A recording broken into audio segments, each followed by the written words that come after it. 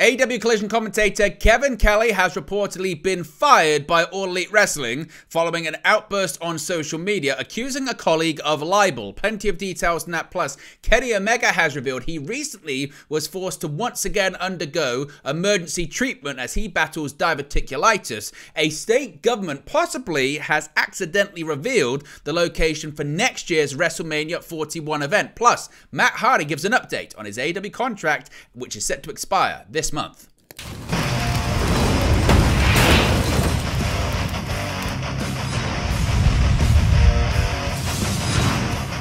Hey guys, welcome back to Wrestle News 365. Hope everyone is doing very well. As always, there are plenty of news stories to get into in the world of professional wrestling. Let's start off with this developing news when it comes to the future in All Elite Wrestling of Kevin Kelly, someone who has been involved with AEW Collision since it launched last year, providing commentary for the show on TNT.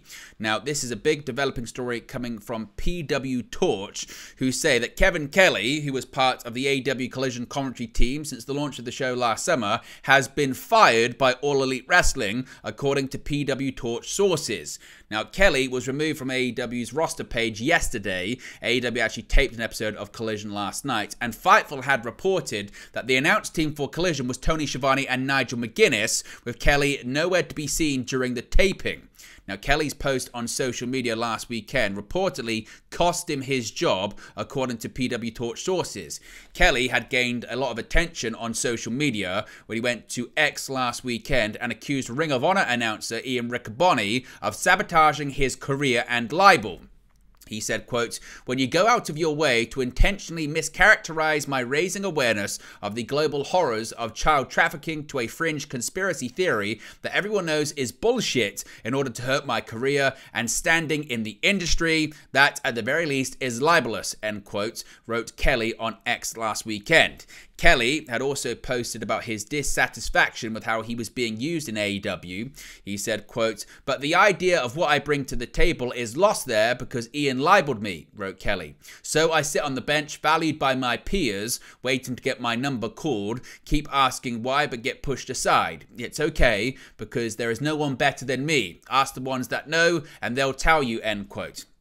Now, Kelly, according to some, got off to a rough start as the host of Collision, coming across as not being familiar with the product, names of signature moves, and the history of wrestlers and ongoing feuds. Of course, he had a strong reputation from his calling of the English broadcast of some of New Japan Pro Wrestling's best events during a peak period for the company, which endeared him to much of the AEW fan base, but that goodwill went away quickly.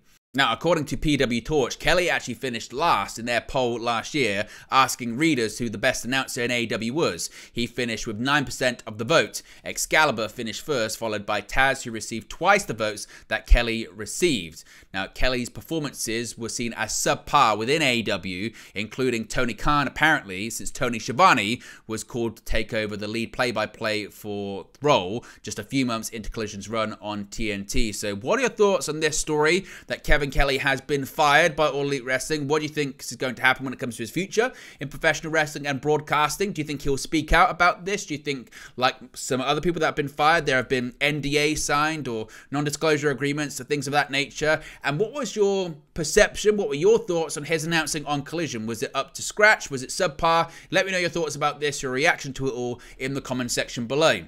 Now, some had been hoping, after he was referenced on AEW Dynamite this week, that Kenny Omega would be on his way back to AEW programming soon, but that looks like that may not be the case, because Kenny Omega has provided an update on his health amid his indefinite AEW hiatus, explaining why he doesn't know his timetable for returning to the ring.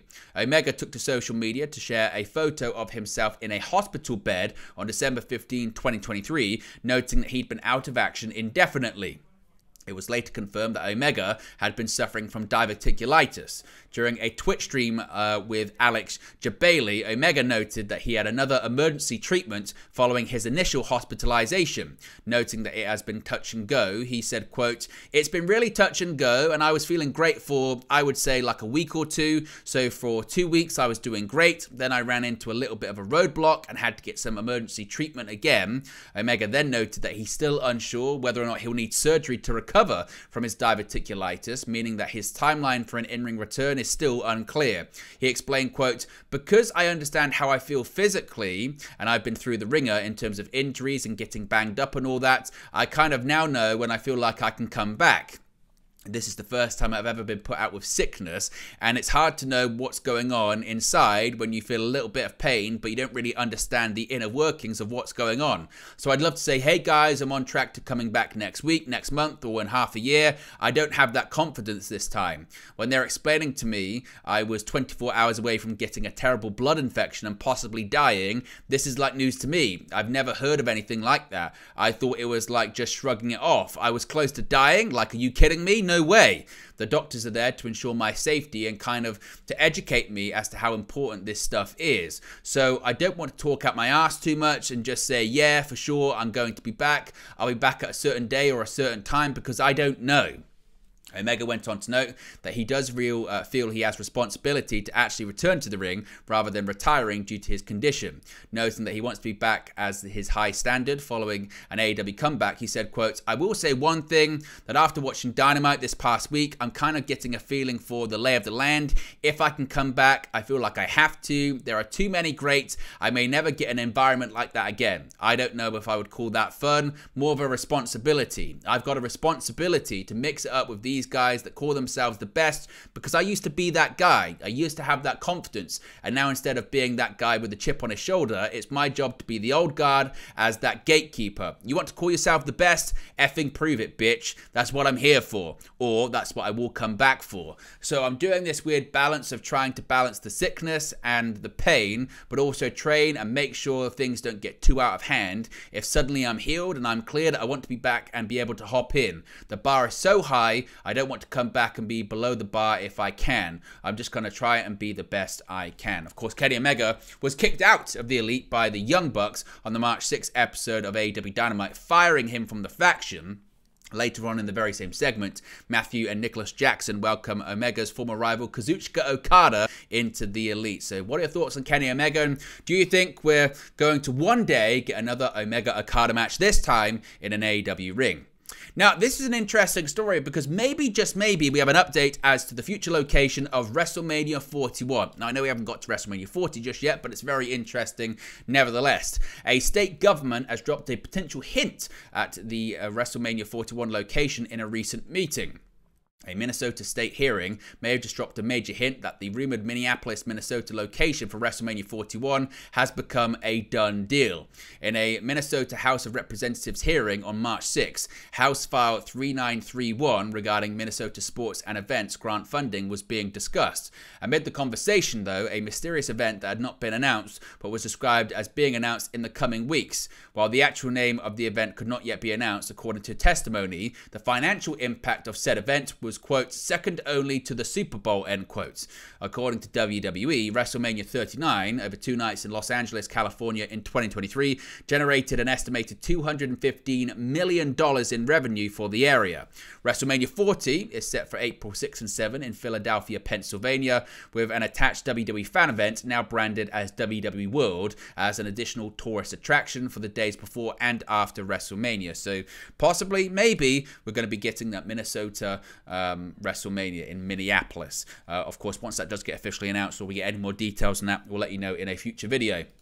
Finally, Matt Hardy has provided a bit of an update on his AEW future amid reports that his contract is set to expire.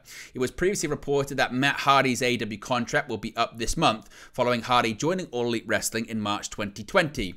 Speaking on his Extreme Life podcast, Hardy confirmed that his contract is set to expire in March, noting, quote, So, as far as that goes with my contract, people had asked about my contract, and obviously I've got messages after that news broke earlier today, and it didn't come from me because no one had known anything about it. So once again, Sean Ross Sapp breaking the news. Yes, it is coming up in March. And we've spoken about it and we've talked about it. And I guess we'll see what happens. So we'll see. If you listen to the podcast, just give me your feedback. Tell me what you think I should do next. Hardy went on to note that he will always support whichever promotion he's working for, comparing moving between promotions to athletes moving between sports teams.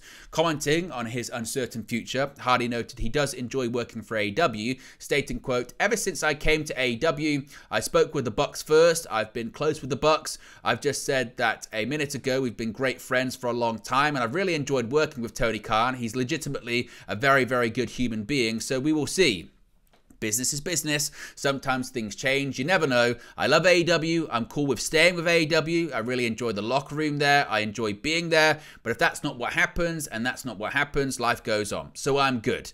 Now, Matt has only competed in one match so far in 2024, though he did regularly compete in 2023. So, what do you think is in the future for Matt Hardy? Let me know your thoughts about that as well. But there you go, guys. Latest pro wrestling news for you. Be sure to smash a like on the like button. Be sure to subscribe, bottom right hand corner. As always, let me know your thoughts in the comment section below, and I'll speak to you again very, very soon. Hey guys, thank you for watching, listening, streaming, or however you come across this video today. Be sure to click on the video on the right there to watch our next video, or click the bottom there to subscribe, or the bottom right hand corner. Thank you very much, and I'll speak to you again very soon.